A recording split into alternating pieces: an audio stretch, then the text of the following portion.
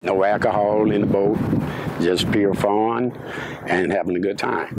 The Louisiana Department of Wildlife and Fisheries advised all boaters to be safe while out on the water. Wildlife and fishery agents are expecting a lot of boat traffic this weekend. So, as a captain of your vessel, a few things to look out for. Watch out for other vessels. Have a good spotter on board at all time. Make sure there's a safe and sober operator driving the boat and a life jacket for everybody on the board. Alcohol use is one of the leading causes of boating crash incidents and fatalities on the water. If a boater is driving impaired, the same penalties apply as they do on the road. Anyone cited for a DWI on the water or the road will lose his or her driver's license and boating privileges. Char Thomas, ABC 31 News.